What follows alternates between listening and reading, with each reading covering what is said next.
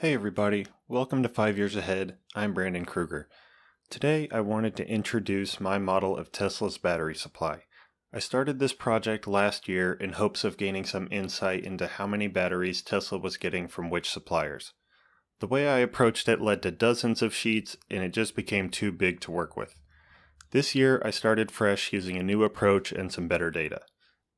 This time I started with Troy Teslike's estimation of trim level split based on average sale price. Conveniently, this data starts in Q1 of 2020, which was the start of Model 3 production in China and Model Y production in Fremont. I then determined when vehicles were being exported from which factories. The percentages indicate how much of the mix would have come from Fremont with the remainder coming from Shanghai. I guessed at these percentages until the ratio of vehicles from each factory was in line with the actual production. This lets me translate Troy's chart from units delivered to to units delivered from. Keep in mind this sheet is based on deliveries, so while Shanghai became the primary export hub in Q2 of 21, we don't see the full impact of that until Q3 and beyond.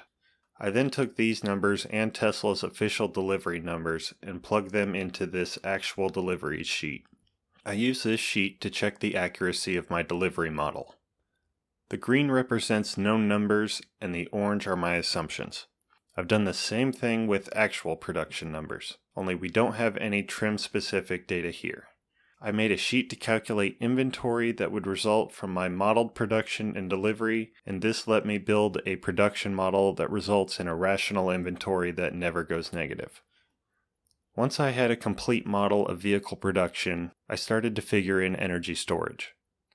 Energy storage products, the Powerwall 2, PowerPack, and Megapack, used 2170s until LFP was introduced in the Megapack in Q2 of 21. Therefore, we know all those cells came from either LG Chem or Nevada. Given this graph of the actual output of the Nevada factory, I adjusted Nevada's contribution to energy storage until the resulting vehicles plus energy storage equaled Nevada's actual output. As you can see, this resulted in four quarters of a negative contribution to energy storage. In these four quarters, Panasonic's output was unable to keep up with ramping Model 3 production, and cells from LG Chem were used to fill the shortfall. Despite this delayed ramp, Panasonic was able to come back and in the second half of 2019 met all vehicle demand and about 90% of energy storage. The drop in supply from LG in 2019 may raise the question why wouldn't Tesla keep that supply coming to make more cars or more energy storage products? I think the best answer to this would be that Tesla likely wasn't getting those cells for a great price.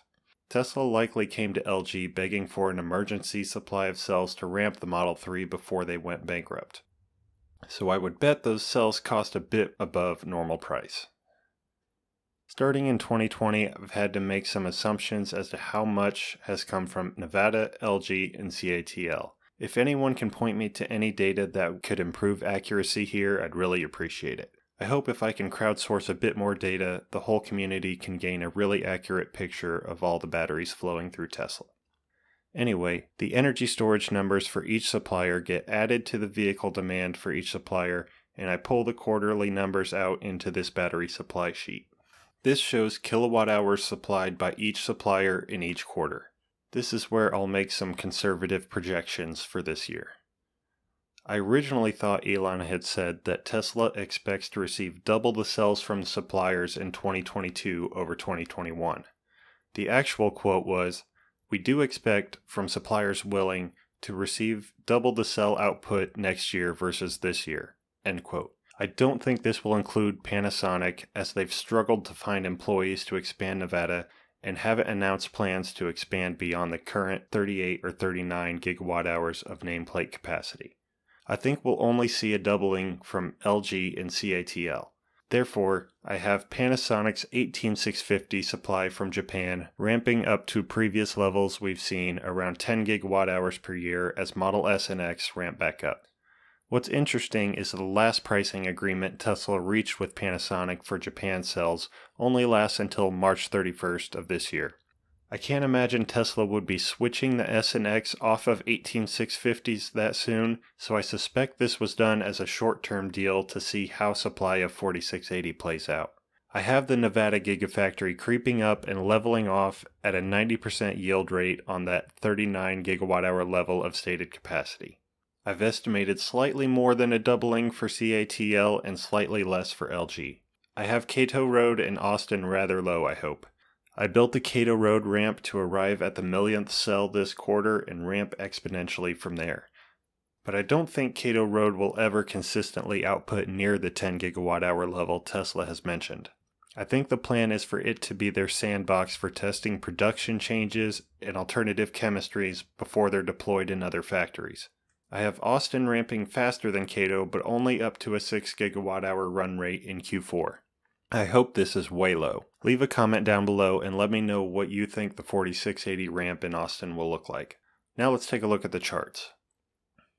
Here is the run rate coming from each supplier, which is just the last sheet multiplied by 4. In orange, we can see LG's contribution jump in 2018 until the Nevada factory in red stepped up its game. Supply from LG then fizzled out until 2020 when they started supplying cells for the Made in China Long Range 3 and later the Y. The dark blue line is 18650 supply from Panasonic Japan, and you'll notice a dip at the start of 2019, which I believe was the changeover to the Raven SNX. It understandably dips again after the start of you know what, but dips the most after the botched ramp of Plaid SNX. I have SNX returning to consuming about 10 gigawatt hours a year as it has before, but Panasonic has stated they have around 50 gigawatt hours of total capacity, so there could potentially be 11 or 12 gigawatt hours a year available for the SNX. The light blue line represents LFP from CATL, and you'll notice how quickly CATL has become very important to Tesla. I expect this quarter CATL will be Tesla's largest single supplier of batteries, at about a 35 gigawatt hour run rate. I'm projecting this run rate to approach 48 gigawatt hours by the end of the year. While I'm not going to figure in any supply from BYD until there is official news, it does seem increasingly likely. I can't imagine Tesla likes being so dependent on CATL for LFP. Lastly, the yellow line is Kato Road and the green line is Austin. Again, hopefully these are very low estimates. I'll be putting out a video at least every quarter to provide an update as new data comes in, so subscribe to make sure you don't miss those updates. In the next chart, we have the total run rate of all battery supply with and without 4680s. This is really going to get crazy as 4680s ramp and other new factories come online.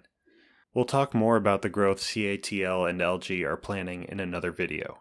As of now, I estimate total supply will cross the 100 gigawatt hour run rate mark this quarter and around 140 gigawatt hours by the end of the year. Let's take a look at what these supply numbers mean in terms of products.